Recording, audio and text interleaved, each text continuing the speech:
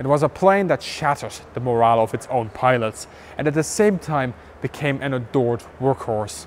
It neither fulfilled expectations nor did it disappoint. It was an honest bird designed with a purpose, accepting the sacrifices it was meant to make without complaint. The British Harry Tate.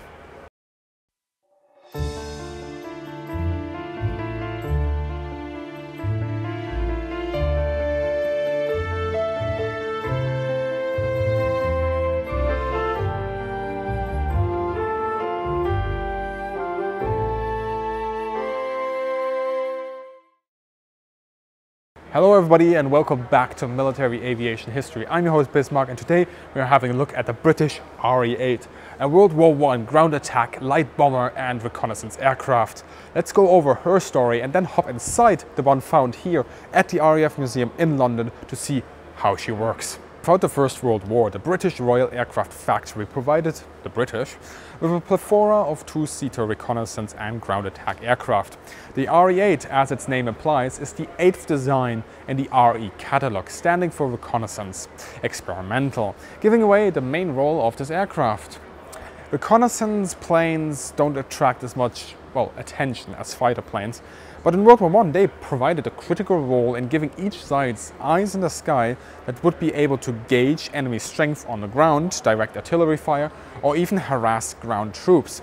This made them a target of fighter aircraft and heavy AA fire, as it was obviously in everyone's interest to blind their adversary as much as possible. The most effective way to do this was to shoot down as many reconnaissance aircraft as possible. In 1915, the RFC set down requirements for future reconnaissance aircraft. This was met with various designs by the Royal Aircraft Factory in drawn form. The design would go through various transitions, but the essentials stayed the same. The four-bladed propeller, the standardized two-seater configuration with one pilot and one observer, as well as provisions for wireless Morse transmissions and offensive and defensive armament. The observer in the back was also given some uh, rudimentary control of the aircraft in case of need. Offensive firepower was to be provided by an internal single Lewis gun shooting through the propeller arc. In absence of a working interrupter system, the air screw was to be protected by metal deflectors, a working but suboptimal system for the time uh, for the Allies. Defensive firepower was meant to be a single machine gun operated on a rotating platform by the observer. This weapon configuration stands out in 1916. The RE-8 design was not the first two-seater to feature both offensive and defensive armament, but it was among the first, showing how the early experiences and the escalation in the air war started to influence design requirements. The RE-8 was a bit of a nonconformist in that it had ties to the previous RE-type aircraft in name only.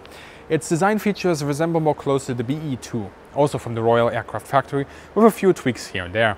Two prototypes were tested in June and July 1916, both at home in Britain, and although they flew no combat sorties in France by operational RFC pilots. The result was a mixed bag. The aircraft was fine to fly, but nearly every pilot complained about heavy handling as well as various details, for example in relation to the weaponry or its responsiveness at low speeds.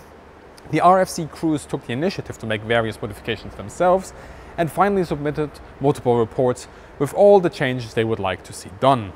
That must have proven a bit too depressing of a read since it was virtually ignored as the first production RE-8s were put on order. It deserves mentioning that the RE-8's production order was under threat at this time, uh, as comparison trials against other designs left it outperformed. It seems that the RE-8 was saved by bureaucratic enthusiasm, the pressing need for new aircraft and the limitations of engine production. It would indeed be too much to say that the Royal Aircraft Factory simply neglected design issues and decided to simply move fast and break things, but at the same time the RE-8 would cause quite an upset amongst the ranks. By September 1916, about 1,200 RE-8s had been ordered.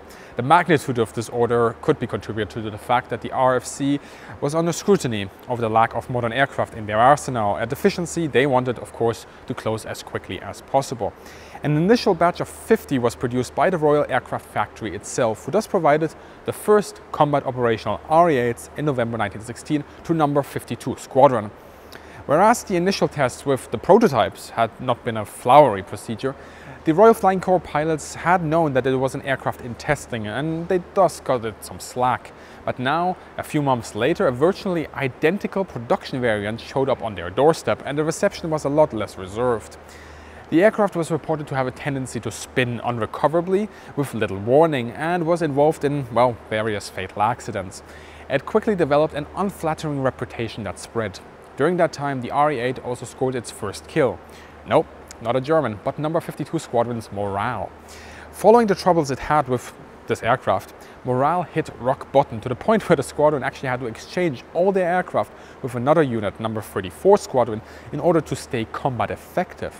What is interesting is that number 34 squadron, whom exchanged their older BE-2s for the new RE-8s, but they were actually happy with the switch. What impressed them on the aircraft was on the one hand the offensive firepower, now upgraded with actually an interrupter gear instead of the deflector plate, and the defensive turret, a luxury they had not yet experienced. Additionally, they really got a kick out of the performance they now had under their uh, shoes with their new kite. Nevertheless, the Royal Aircraft Factory had its work cut out for it.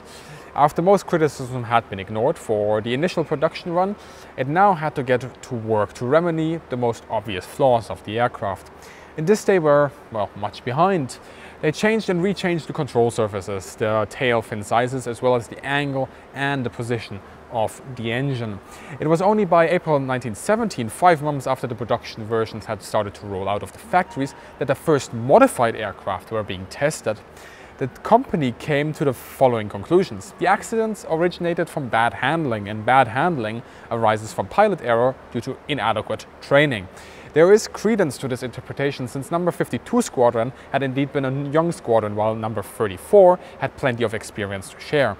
However, the incident also highlighted the deficiencies in Royal Flying Corps pilot training uh, that did not adequately prepare pilots for the new aircraft. Beyond these issues, however, there was still the mediocre RE-8 uh, with its heavy stick handling, sensitive rudder and volatile kicks at low speeds. Additionally, the uh, Challenger's, uh, Vickers Challenger interrupter gear proved to be of a dubious character, with failures being a consistent company of any pilot, and it was replaced with the Constantinesco system in mid-1917. The Vickers gun was also moved to the outside of the fuselage, as had been suggested by some pilots all along. By this point, the unstable undercarriage had also been replaced. A whole other list of possible modifications, including engine upgrades, were proposed and tested, but only the most pressing issues, such as the larger dorsal and ventral fins, were actually added. However, the cowling here that we see was also changed multiple times. The RE-8's problems were a mixed bag. The design itself wasn't a home run, but it flagged up an issue that the RFC could not ignore pilot inexperience. Pilots with many hours under their belt liked her, commenting that she was well cozy and comfortable, lovely to fly and would do anything asked of it up to its limited ability. Well, I guess that passes as endorsements in these parts of the world. Anyway, for new pilots, well, that story was very different. With only a few hours of flight time under their belt before being sent off to the front, they were not prepared for an aircraft like this. The combination of a heavy stick, sensitive rudder, limited acceleration and slow speed characteristics caused plenty of grief. Evidence to this is the already aforementioned number 52 squadron. However, number 34 squadron on the other hand was in a chipper. But they were more experienced and even they realized that the RE-8 could be unforgiving. One major in number 34 squadron wrote a small guidance handbook for new pilots converting to this type of aircraft. Practical advice included, amongst others, not to use the aircraft in a slow glide and to instruct the observer to sit as low as possible on takeoff and landing so as not to increase wind resistance. Better training, guidance from more experienced pilots and a few modifications here and there proved enough to make the RE-8 into a Royal Flying Corps workhorse. More and more squadrons converted to her, by June 1917, 15 out of 25 reconnaissance squadrons were equipped with this type of aircraft. They now started to affectionately call the Harry Tate, after a stage performer of the time whose name rhymed with the aircraft's designation. The RE-8 has a length of 8.5 meters and an upper span of 12.9 and a lower span of 9.9 meters and she stands at 3.5 meters of height. The 140 to 150 horsepower RAF4A air-cooled V12 engine gave it a maximum speed of 98 miles an hour and it has an endurance of around 4 hours of flight time. Now the standard armament consisted of one single 303 machine gun synchronized with the CC fire control interrupter and a single or twin 303 Lewis gun for the observer. And the maximum payload the aircraft could carry was 260 pounds. In combat, the RE-8 let some of her qualities show. She was a stable platform, able to do a variety of roles from reconnaissance over to artillery spotting and bombing. And she was able to defend herself when need be. She frequently became the bane of German balloon units, which also gives credence to resilience under fire. Braving the flak day in, day out, the RE-8 kept flying the most perilous of missions. And in the hand of a good crew and a coordinated flight, she was able to even keep German fighters at bay. Although these would make short work of Harry Tate in, well, most instances. You can't fault her for that, however, because, well, she simply wasn't a fighter. Over 4,000 of them were built and they saw service throughout World War I and while most were taken out of the service they also saw some action in the Middle East for a few years following the end of the First World War. Sadly, only two survived until this very day, but luckily several have been rebuilt, like this one here, that is actually a flight-worthy example. What it was is a no-nonsense workhorse, able to execute all missions required of it without fuss or gaudiness. So, let's take a closer look. I actually found a technical note in the archives from 1918 stressing the importance of comfort in an aircraft for the crew. And it presented the RE-8 as the prime negative example of how a cockpit should not be. With a chair at the wrong angle, uh, with padding areas being all wrong and limited longitudinal space and so on. Now let's see how that turns out for me. All right, so sitting in the RE-8, we are greeted by a neat little instrument panel. Uh, we've got the airspeed indicator, we've got the altitude, we've got the RPMs, we've got a clock, we've got an artificial horizon, the starting magnetos to his right, and below that, we've got a nice little instrument panel that allows you to individually light the lighting for the, uh, the instruments. Um, up top, we have a fuel tank indicator right here. Uh, this is actually mirrored, so you can't really read it off by looking just like this. But if you squint down just a little bit because of that mirrored uh, reflection, you can see the, uh, the contents of the fuel tank right now. Uh, we have the backup side to his left. He'll just have to lean towards that. And we've got the main side over here, which he would use just by squinting down like this. Uh, to the pilot's right, we have a little box containing the uh, the contents for his flare gun, so the individual flares. We also have a little basket here for wipes. And these would be used to clean the windscreen once the oil starts um, you know, splashing up uh, from the engine. Um, overall, the, uh, the cockpit is actually surprisingly comfortable in, to some degree. Um, my legs and my upper body have a lot of freedom. This is actually one of the most comfortable planes I've sat in for that alone. Uh, the ammo drums, uh, so the, the ammo storage that you can sort of see from coming in, in from the gun here, uh, doesn't get in the way. You know, I, I, I, I'm not going to hit those, even with, with more uh, space-taking clothing. And the main fuel tank selector down there, I'm also not going in risk of hitting that by accident. What is annoying a little bit, and this brings us back to that note that I found in the archives, is the wicker basket that I'm sitting on. Like I said, legs, upper body room, excellent. This basket is pushing into my back quite violently. And I can definitely understand what they meant back then in, in 1918 when they wrote that note, uh, because I cannot find a single position to sit in short of actually not sitting against the wicker basket that is comfortable. And um, yeah, so I definitely understand why, why they took this aircraft as an example of how not to design the pilot's seat. Um, behind the pilot, of course, you have the observer or gunner. He has four additional ammo drums that he can use, uh, two to behind him, two in front of him. And then, of course, he also has a table where you can use a map. The observer uh, would also be um, calling in uh, corrections for artillery strikes or when they were spotting uh, sort of the, the, movements of enemy troops, they would of course make markings on the map and then report that back to headquarters and this would all be done here.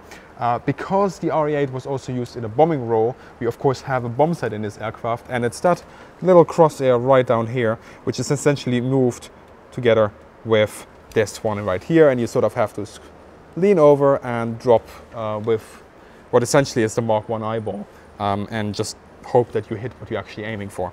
Um, all in all, like I said, the wicker basket kind of destroys the pleasure of sitting in one of these aircraft, but overall, it is actually quite neat. Um, there, there are very little complaints here uh, beyond that. The Harry Tate was neither particularly beautiful nor outstanding, and its pilots might not fit the typical image of the flamboyant aviator. It did the jobs that weren't romanticized, and it was perfectly capable of handling this task, never complained, and operated in all manner of conditions. At the end of the day, what more could you want? Thank you very much for watching and if you enjoyed this video, please consider supporting the channel via Patreon or PayPal and by sharing this video. And I want to thank the Royal Air Force Museum for allowing us to get close with their exhibit and you can of course visit it here at their London site. As always, have a great day, good hunting and see you in the sky.